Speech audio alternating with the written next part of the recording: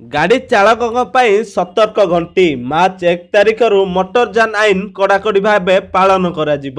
ନୂଆ ଟ୍ରାଫିକ ନିୟମ ଯାହାକୁ ଭାଙ୍ଗିଲେ ଆପଣ ଜରିମାନା ଗଣିବା ଏକ ପ୍ରକାର ନିଶ୍ଚିତ।